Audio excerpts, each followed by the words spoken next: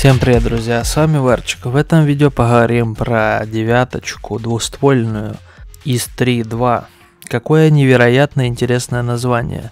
Что из себя представляет этот танк? Он вяло поворачивается, причем в стоке стоковые гусеницы поворачиваются быстрее, чем топовые, и стоковая башня поворачивается быстрее, чем топовая. То есть, когда вы этот танк выведете в топ, вам по ощущениям будет казаться, что вы как-то не в топ вывели танк, а мешков на него накидали, и он ему вообще впадлу что-то делать. Он реально медленно поворачивается. И это ощущение вялости сопровождает тебя каждый бой, что этот танк все время какой-то ну, вяленький, не хочет ничего. Он и по броне такой, танковать он тоже не хочет.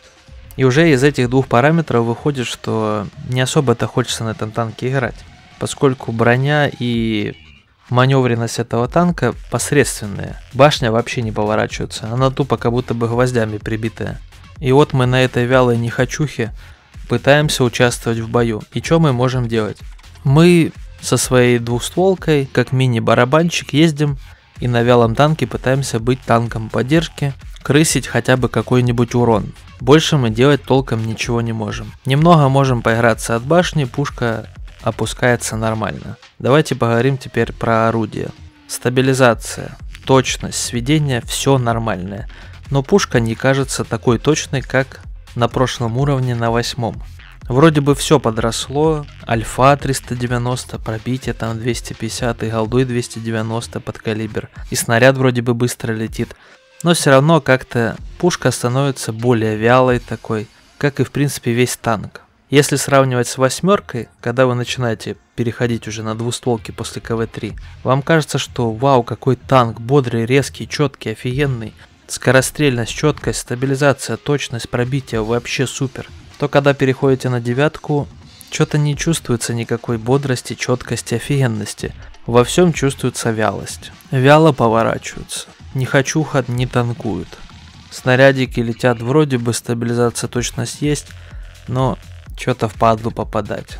Но в целом пушка не кривая, просто нормальная. Ну и пробитие как у потомственной нехочухи, ну такое типа, ну на уровне есть 250 пробития у всех, и у меня есть.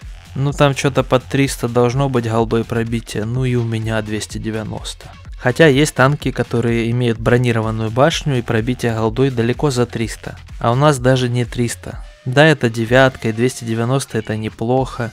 Но у нас и брони-то ну такое себе. Я, конечно, ее в коллижен модельке не разглядывал, эту броню. Но по ощущениям ее нет. Башня какая-то квадратненькая, в нее залетает, иногда и отлетает. Бортика можно чуть-чуть потанковать, но щучий нос мешает потому что когда ты танкуешь от стены бортом, отъезжая назад, показывается твоя щека и в щеку напихивают. Обратным ромбом танковать не совсем всегда удобно, поэтому все такое неудобное, какое-то такое танк длинный какой-то. Честно говоря, восьмерка чувствуется офигенной, четкой, классной. Минус практически только один. В НЛД ломаются баки и боеукладка. У девятки же такого минуса нет баки и боеукладка не ломаются в лоб, но вот все остальное какое-то на уровне ощущается вялым и слабеньким.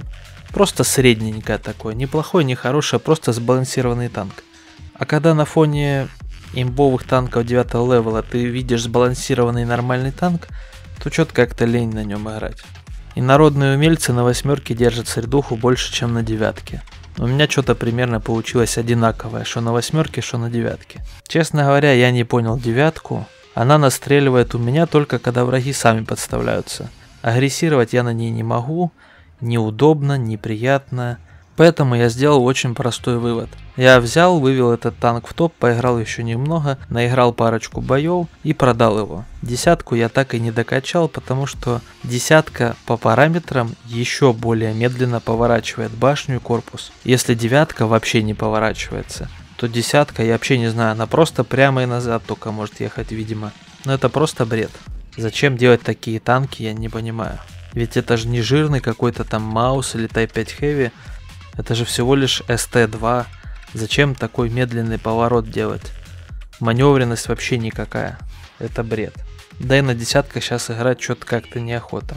Поэтому Поэтому я возлагаю надежды на чертежи. Когда-нибудь лет через 500 я докачаю двустволку, не играя больше на девятке. Потом, может быть, когда-нибудь куплю ее и поиграю. Но у меня уже что-то нету никакой надежды, что она мне понравится. Да и девятка мне тоже, ну такое. Чисто проходной танк. Не сказал бы, что она плохая, ну и оставлять я ее точно не хочу. А вот восьмерку, пожалуй, оставлю. На ней поиграть стоит. И мне очень сильно понравился танк. Вот, в принципе, такие выводы по танчику. Очень неагрессивный, просто средний во всем по уровню танк, на котором, в принципе, можно участвовать в бою, стрелькать урончик, но хочется как-то пободрее и поагрессивнее. На ИС-3 2 такое не получится. С вами был Варчик, играть красиво, всем пока.